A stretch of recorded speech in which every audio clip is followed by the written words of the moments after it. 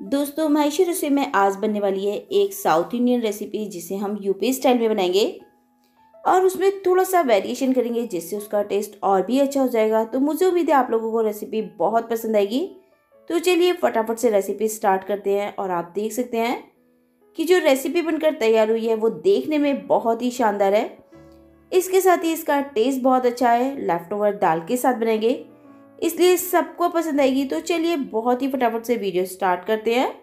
Video पसंद आए, video को लाइक, चैनल को सब्सक्राइब और साथ ही बेल आइकन को प्रेस करना तो बिल्कुल भी ना भूलें।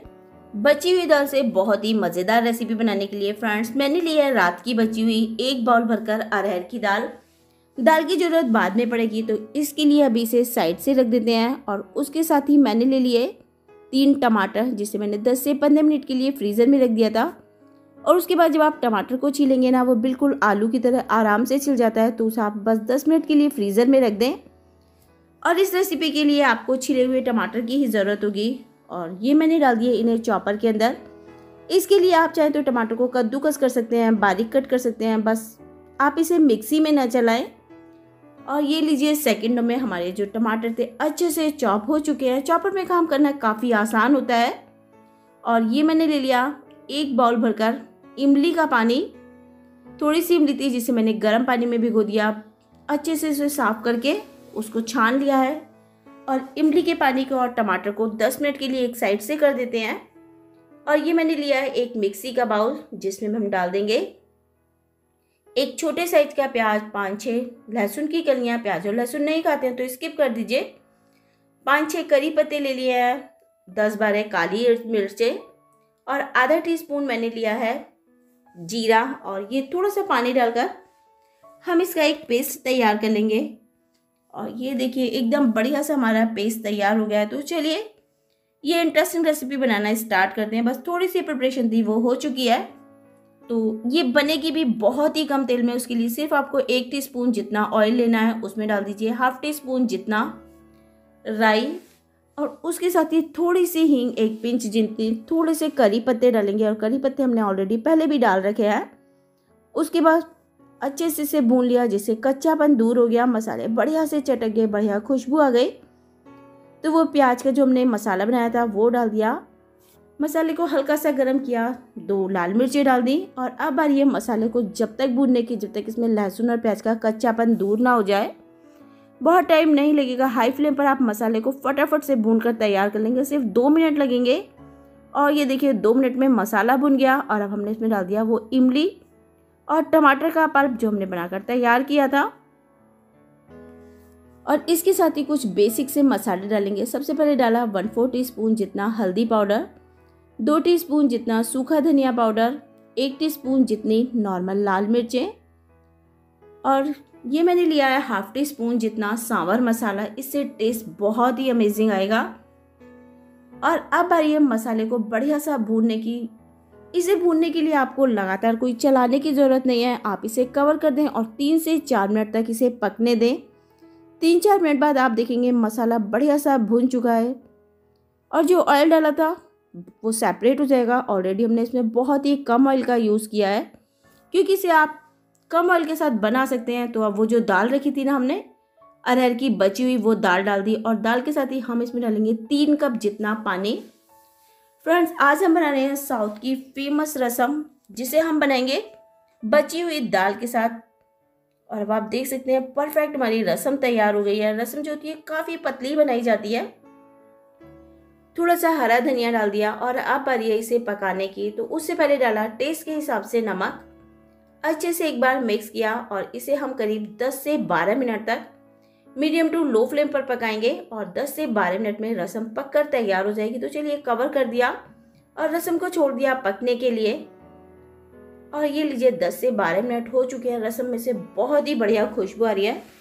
तो ये डाल दिया थोड़ा सा हरा धनिया। हम रसम बनाएँगे डबल तड़का, लेकिन अभी दूसरा तड़का नहीं लगाएँगे। आप चाहे तो रसम को रोटी पराठे के साथ सर्व कर सकते हैं। आप चाहे चावलों के साथ सर्व कर सकते हैं, लेकिन आज मैं इसके साथ बनाऊँगी वड़ा। तो वड़ा बनाने के लिए मैंने नॉर्मल जो सफ़ेद वाली उड़द की दाल होती है, उसे तीन से चार घंटे के लिए भिगो दिया है। और दाल फूल कर जस्ट डबल हो गई दो तीन पानी से अच्छे से वॉश किया। और इसमें अब जितना भी एक्स्ट्रा पानी है, इसे हम हटा देंगे। उसके लिए हम इसे एक चलनी पे डाल देते हैं। और अब बारी है दाल को पीसने की। तो दो तीन हरी मिर्चें ली, जिसे रफली सा तोड़ लिया। एक इंच जितना अदरक का टुकड़ा। और अब डाल देते हैं ये दाल। फ़र्स्ट, इस दाल को आप बहुत ज़्यादा पानी के साथ ना पीसें। मुझे इसे पीसने के लिए तीन से चार टेबल स्पून पानी की ज़रूरत पड़ी है। और देखिए, परफेक्ट हमारी दाल पीस कर तैयार है। इसकी दाल ना तो आपको बहुत रवीली पीसनी है, यानी कि दानेदार पीसनी है और ना बहुत ही ज़्यादा बारीक करनी है। अब दाल में हम डाल देते हैं हाफ़ टी स्पून जितना नमक, बहुत ज़्यादा नमक ना डालें हाफ़ टी स्पून जितना नॉर्मल कच्चा जीरा और ये मैंने डाल दी इसमें एक पिन जितनी हींग हींग से इसमें टेस्ट भी अच्छा आएगा और पेट के लिए भी काफ़ी अच्छी हो जाएगी। और ये गया खूब सारा बारीक कटा हुआ हरा धनिया, अच्छे से मिक्स किया और अब बारी है दाल को फेंटने की। फेंटने के लिए आप चाहें तो मेरी तरह चम्मच का इस्तेमाल कर सकते हैं और आप चाहें तो इसे हाथ से भी अच्छे से फेंट सकते हैं। पहले मैंने इसे चम्मच से अच्छे से फेंट लिया और उसके बाद मैंने इसे हाथ से फेंटा है। और ये देखिए, दाल का जो टेक्सचर है एकदम चेंज हो गया है। दाल काफ़ी हल्की हो चुकी है और कलर भी एकदम वाइट हो चुका है। यानी कि अब हमारी जो दाल थी वड़े बनाने के लिए एकदम तैयार है। तो ऑयल क्यों कर लिया? मीडियम गरम। और मीडियम गरम ऑयल में हम एक एक करके इस तरीके से वड़े छोड़ देंगे। आप चाहे तो इसे चम्मच से भी बना सकते हैं और आप चाहें तो मेरी तरह हाथ से बना सकते हैं। यानी कि आप जैसे भी बना, चाहना चाहें वड़ों को बना सकते हैं।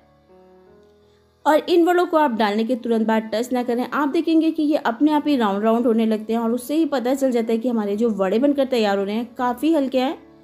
बहुत ही सॉफ्ट और फूले फूले वड़े बनकर तैयार होंगे और इसमें आपको बेकिंग पाउडर, सोडा ऐसा कुछ भी नहीं डालना है और ये देखिए वड़े तैयार हो गए। तो उन्हें डिश आउट कर लिया और इधर जो हमारी रसम थी ये भी अच्छे से तैयार हो गई है। तो अब हम इसमें लगाएँगे एक और तड़का। उसके लिए एक तड़का पैन लिया और उसमें फिर से डाल दिया एक टीस्पून जितना कुकिंग ऑयल। इसमें आपको ऑयल का इस्तेमाल बहुत ही कम करना है। और जैसे ही ऑयल गर्म हुआ, उसके अंदर हम डालेंगे हाफ़ टी स्पून जितनी सफ़ेद उड़द।